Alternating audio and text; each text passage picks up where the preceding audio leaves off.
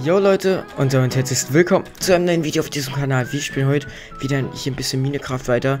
Ähm, ihr seht es schon, ich habe hier rumgetüftelt wie sonst was. Ich habe auch, um ehrlich zu sein, noch keine richtige Lösung. Das wird auch weiter eine Tüftelfolge, nur ich will das Ganze mal aufnehmen, wie ich mir das hier so denke. Ich habe jetzt im Internet auf YouTube nie irgendwas gefunden bezüglich dem Transport von Villagern über Minecarts, wie man die dort locker reinbringt. Ich habe jetzt was versucht und ich hoffe mal, das funktioniert. Das hier funktioniert super. Die paaren sich hier am laufenden Band. Ihr seht schon unten, wir haben, glaube ich, wartet, wir haben sechs Villager jetzt schon.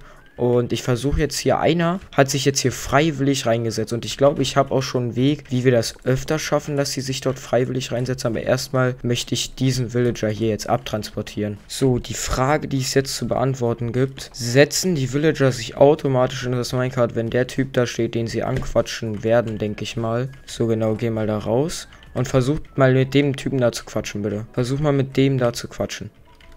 Seht ihr? Und der will jetzt nicht. Der andere, doch, der will auch. Super. Was? Was? Nein, Brudi.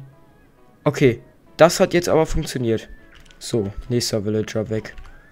So, die Frage ist jetzt, wenn du jetzt hier stehst, du bist da eingesperrt.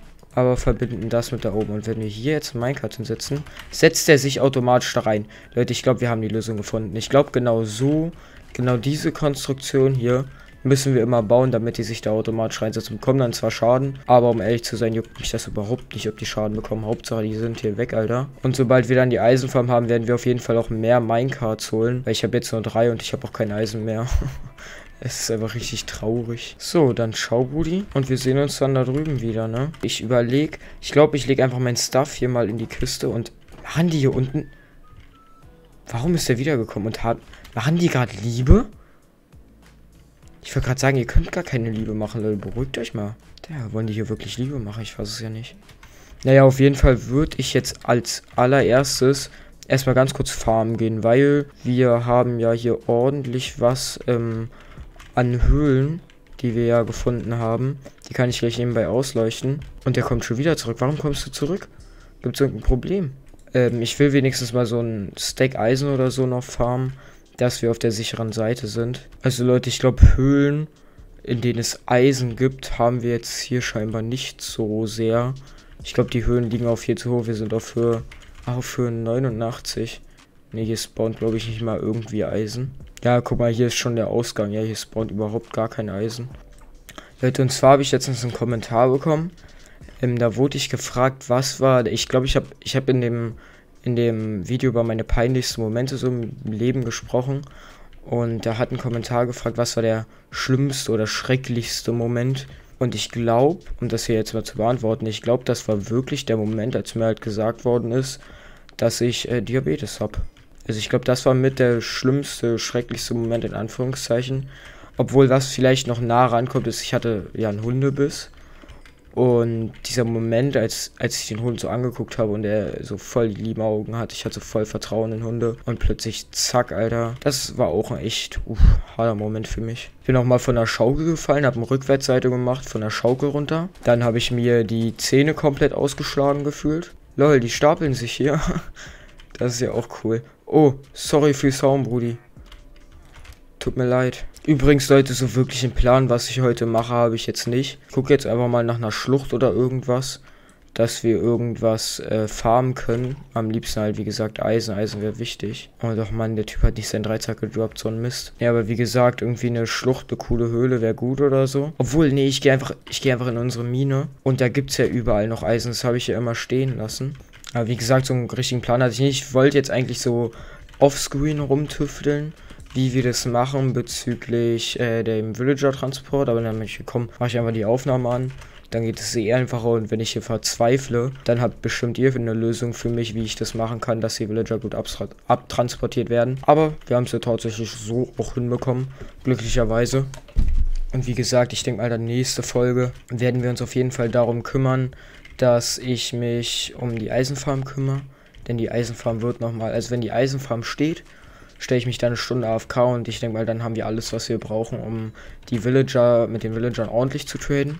Und über die Villager kommen wir dann an jegliche Items, glaube ich, so, so relativ an jegliche Items. Was turnt dich am meisten ab?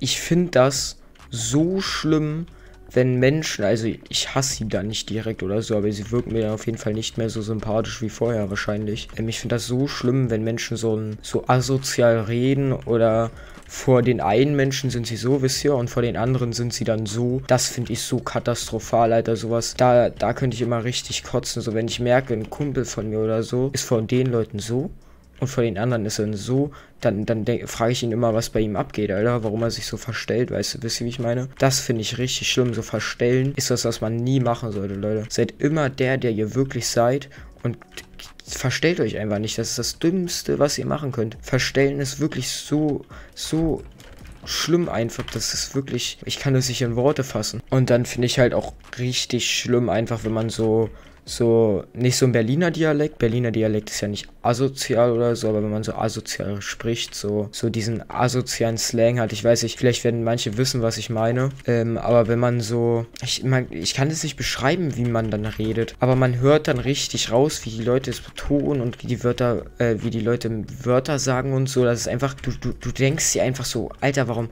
warum redest du so? Kannst du dich auch mal reden? Ich finde, so, sowas finde ich auch richtig schlimm. Da denke ich mir von der Person direkt, Junge, was geht bei dir eigentlich? Wirklich ab. Direkt was schlimm finde ich nicht.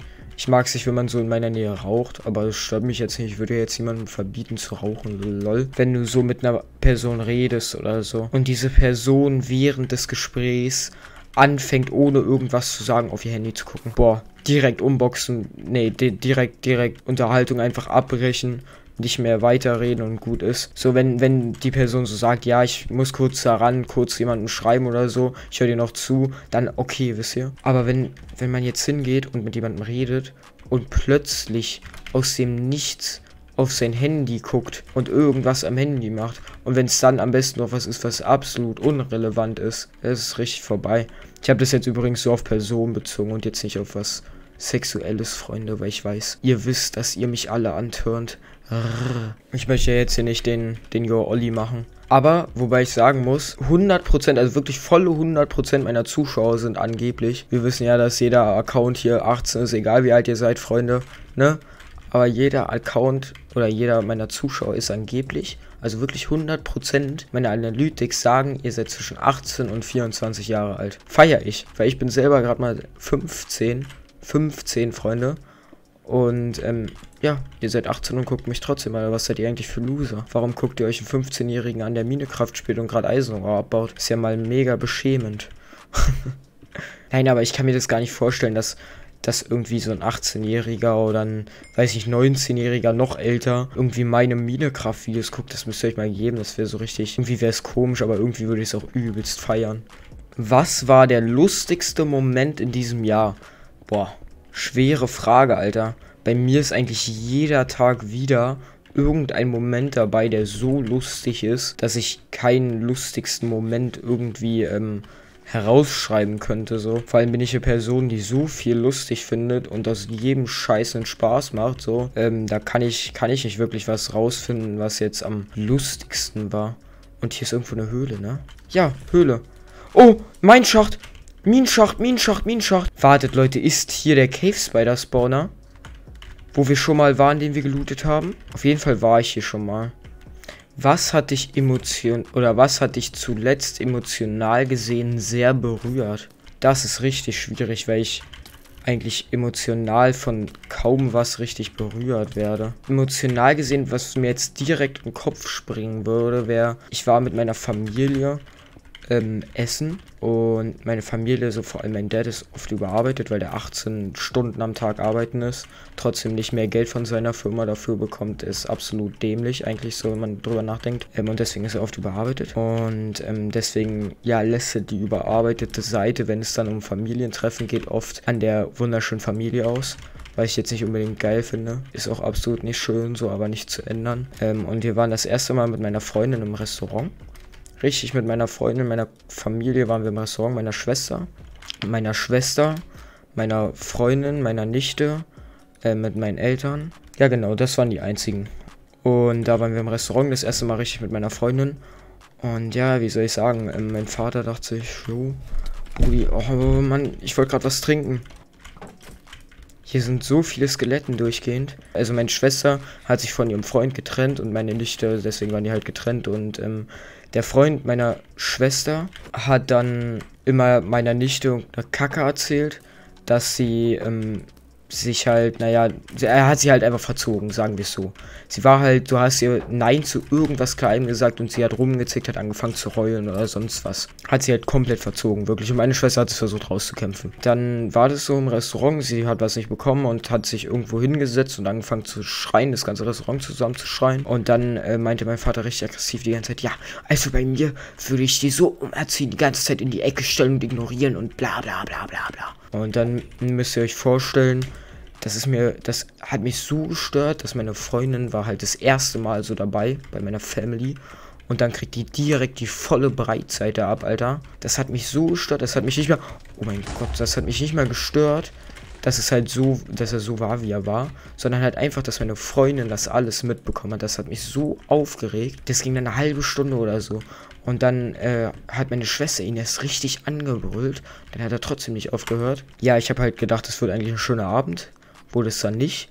Dann müsst ihr euch vorstellen, hat mich das so aufgeregt. Ich war so wütend und enttäuscht einfach, dass, wisst ihr, ich habe mir so gedacht, ja, wird ein schöner Abend hier, bisschen für der Familie. Freundin erste Mal dabei, richtig nice, richtig cool. Und dann endet es einfach so in einem reinsten Drama. Und ich, mich hat das so wütend gemacht, da ich mir die ganze Zeit so meine Faust richtig zusammengekniffen habe, Alter. Und einfach durchgehend äh, wirklich so, so wütend war. Und irgendwann ist es halt ja, alles aus mir komplett rausgekommen. Also wirklich komplett rausgebrochen, weil mich das so gestört hat. Ich habe das so kacke gefunden in dem Moment, dass ich halt, ja, vom dann aufgestanden bin, rausgegangen bin, äh, kurz vor die Tür. Meine Freundin direkt hinterher. Mein Vater so richtig, äh, was hat denn der schon wieder? Bin ich vor die Tür gegangen. Und ja, da ist es dann aus mir rausgekommen, Leute. Ja, da habe ich halt dann geweint sad. Meine Freundin hat mich an den Arm genommen und so und ich habe ihr das dann erklärt, dass ich nicht mal, dass ich nicht mal weine, weil ich es schlimm finde, dass er halt so ist. Sondern ich komme damit ja klar, ist ja halt schon mein ganzes Leben lang so, dass es da immer mal wieder den einen oder anderen Ausraster gab oder so. Nur ich finde es halt schlimm, dass sie das als so allererstes Treffen direkt so mitbekommen hat. Wisst ihr, was ich meine? Das fand ich richtig, richtig schlimm. Ja, und dann hat meine Schwester, meine Family so nach Hause gefahren, meine Eltern sind ausgestiegen. Meine Schwester meinte nur so zu mir, ja, mach dich heute bloß weg da. Äh, fahr zu, fahr zu Jamila, so heißt meine Freundin. Fahr zu Jamila und äh, ja, dann bin ich auch hingefahren und nächsten Tag ging es dann alles wieder. Ja, Leute, das war, das war bis jetzt so ein Moment, der war richtig. Also das war sad, das war jetzt im Sommer das letzte Mal. Aber sonst, wie gesagt, ich bin so selten sad, das ist unfassbar. Ich habe so selten Momente, wo ich wirklich traurig bin. So Leute, ich habe jetzt eine ordentliche Ausbeute. Es sind insgesamt vier Stacks und neun Eisen und eine ganze Menge an Kohle noch mitgenommen. Ähm, ich mache mich jetzt auf den Weg wieder nach oben. Und da ist sogar nochmal Eisen. Ähm, und oben werde ich das alles dann in den Ofen legen. Und dann mal gucken, ne? So Leute, hier brennt jetzt alles und damit würde ich sagen, ich hoffe, euch hat die kleine, aber feine Folge gefallen. Ich hoffe, wir sehen uns beim nächsten Mal wieder.